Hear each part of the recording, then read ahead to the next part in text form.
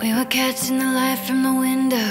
Looking up, you were driving slow. I can see through it all with my eyes closed. We were never meant to be alone. There was a part of me that couldn't let, couldn't let go. Needed 안녕하세요, 블링이들. 이제 벌써 연말이 다가오고 있어요. 시간이 진짜 빠르게 지나가는 것 같아요, 점점. 저는 갈수록 1년이 너무 짧게 느껴져서 좀 슬프기도 한데 그래도 연말 특유의 반짝거리고 포근한 느낌이 저는 너무 좋아요. 이맘때쯤이면 뷰티 업계에서도 연말 시즌과 어울리는 화려하고 반짝거리는 제품들을 막 출시하잖아요. 그래서 cool 톤 컬러도 너무 잘 뽑고 glitter도 진짜 잘하는 데이지크에서도 역시 엄청난 신상을 출시했어요. 바로 snowball의 반짝임을 담은 holiday 컬렉션인데요. 패키지만 봐도 크리스마스나 연말 느낌이 물씬 풍기지 않나요? 그래서 펄 광인인 제가 이번에 데이지크에서 새로 출시한 new 반짝이템들을 소개해드리면서 메이크업을 해볼 거예요. 오늘은 색조 메이크업에 조금 더 집중해서 보여드리기 위해서 화사한 피부톤의 눈썹만 제가 늘 그리는 방식으로 ash 톤의 완만한 아치 형태의 눈썹으로 그려주고 왔고요. 제 이목구비를 재탄생시켜줄 contouring부터 들어가 볼게요. 이 shading도 노란기랑 붉은기가 없는 grayish한 그림자 컬러고 톤이 세 가지로 구분되어 있어서 농도 조절하기에 너무 쉽게 나왔더라고요. 유튜브 보면 이 제품을 진짜 많이 사용하시더라고요. 그래서 제가 사용해봤는데 왜 그렇게 많이 사용하는지 알겠어요. 너무 좋아요. 저는 먼저 mid 톤과 deep 톤 컬러를 믹스해서 코끝과 eye hole 쪽 음영을 강조해줄게요. 그리고 light 톤과 mid 톤을 믹스해서 콧대와 콧볼 쪽 blending을 해주면서 자연스럽게 음영을 줄게요. 얼굴 외곽 부분은 mid 톤과 light 톤을 믹스해서 광대 라인과 턱 부분을 먼저 넓은 범위로 쓸어주고 지금 제 광대 앞볼 쪽에 광나는 부분 있죠? 이 부분 정도까지 이 정도 범위로 쓸어줘야 얼굴이 조금 더 입체적이고 면적이 줄어들어 보여요. hairline도 잊지 않고 같이 음영을 준 다음에 deep 톤으로 한 번 더 조금 더 좁은 영역으로 얼굴 라인을 잡아주고 hairline도 같이 잡을게요. 그리고 입술 아래쪽이랑 위에 쪽 음영도 같이 잡아주고 입꼬리 음영도 살려줘서 좀 더 입술에 입체감을 주면서 overlip을 만들어줄게요. eye 메이크업은 데이지크 shadow 팔레트 18호 berry smoothie를 사용해 줄 건데요. 제가 예전에 이 팔레트를 사용해서 했던 메이크업이 인기가 되게 많았어요. 그래서 이번에는 그때보다 라벤더 컬러를 조금 더 많이 사용해서 메이크업을 해볼게요. 먼저 icing과 블루베리 소다 컬러를 섞어서 눈두덩이와 under 베이스를 깔아줄게요. 그리고 haze 컬러로 조금 더 좁은 영역으로 사용해 줄 건데요. 눈 앞과 끝부분에 먼저 음영을 준 후에 blending하면서 이어줄게요. 그리고 삼각존 부분에도 음영을 주고 잔량으로 눈 앞까지 조금만 가져올게요. 그리고 mulberry 컬러로 아이라인 그릴 영역에 음영을 주고 무드 slim liner 무드 브라운으로 under를 사용해서 밑트임을 해주고 애교살 그림자도 만들어준 후에 딸기 우유빛 컬러의 liner로 애교살에 뽀용한 느낌을 주면서 입체감을 살려줄게요. 그리고 다시 팔레트에 있는 haze 컬러로 라인 경계를 풀어주면서 smudging 시켜주고 블랙 liquid 아이라이너를 사용해서 또렷한 눈매를 살려주고 눈매가 가로로 길면서 조금 앙큼한 느낌이 나도록 두께감 있는 라인으로 많이 올리지 않고 가로로 길게 빼줄게요. 다시 팔레트 mulberry 컬러로 아이라인 그린 부분 위에 덮어주면서 라인 경계를 자연스러워 보이게 해주고 이제 여기에 반짝이는 연말 느낌을 더해줄 이번 데이지크 신상 holiday snowball shadow 팔레트를 사용해줄 건데요. 모두 glitter shadow로만 구성된 다양한 텍스처의 9구 팔레트예요. 파티용 화려한 메이크업뿐만 아니라 daily로 사용해도 너무 예쁜 컬러들이 같이 있다 보니까 활용도가 너무 좋아서 저처럼 glitter 광인이신 분들은 하나쯤 갖고 있으면 오랫동안 너무 잘 사용할 거예요. 특히 큼지막한 glitter로 눈두덩이와 under에 소량씩 발라주면 예쁜 starlit melting glitter부터 silky한 발림성의 silky sliding glitter, 꺼끌거림 없이 촉촉한 baked glitter 이렇게 세 가지의 다른 제형으로 구성되어 있어서 사용 부위와 무드에 따라 다르게 활용해주면 같은 팔레트를 사용했지만 다양한 무드를 연출할 수 있어요. 특히 은은한 펄이 들어가 있는 제형 같은 경우는 특별한 날 하이라이터로 사용해도 너무 예쁠 것 같아요.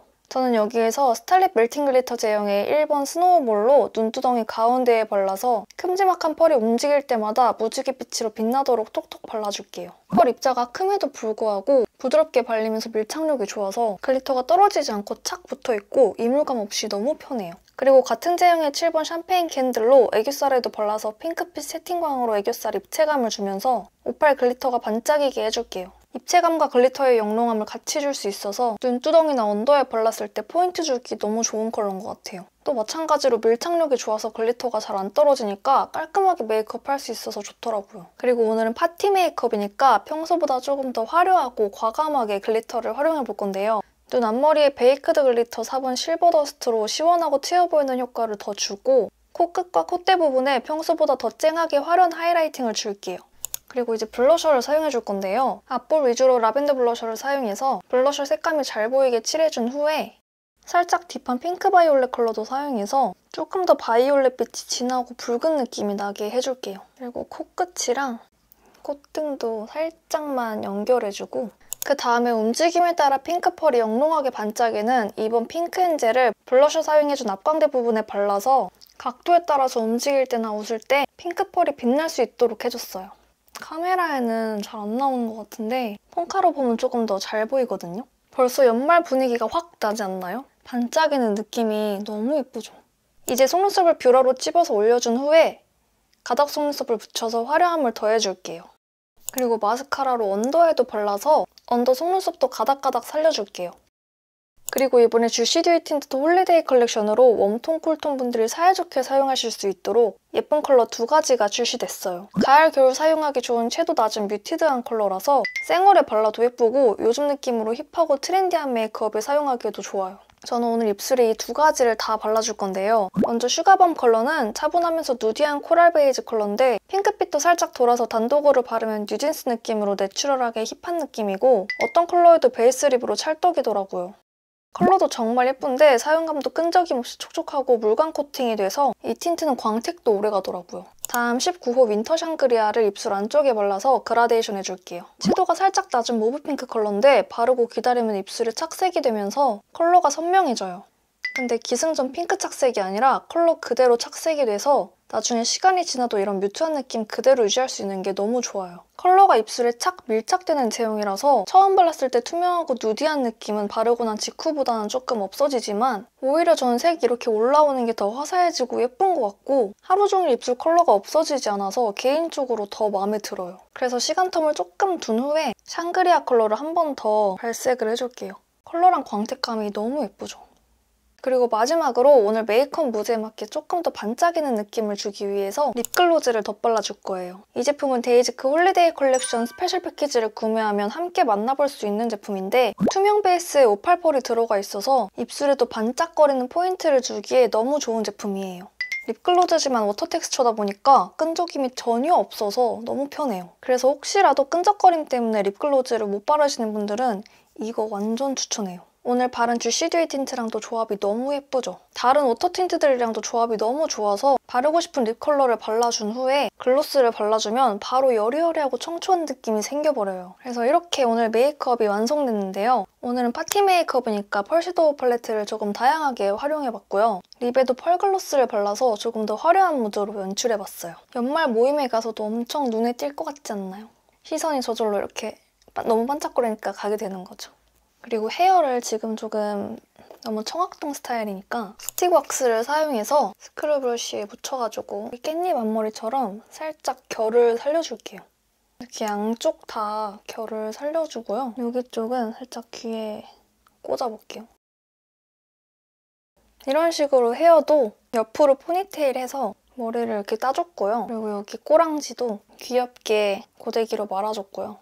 이걸 완전히 완성시켜봤어요.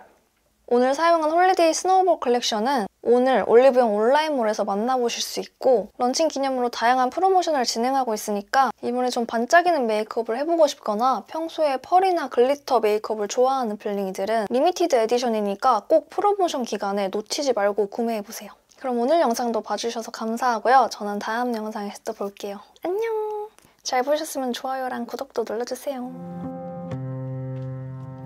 We were catching the light from the window Looking up, you were driving slow. I can see through it all with my eyes closed. We were never meant to be alone. There was a part of me that couldn't let, couldn't let go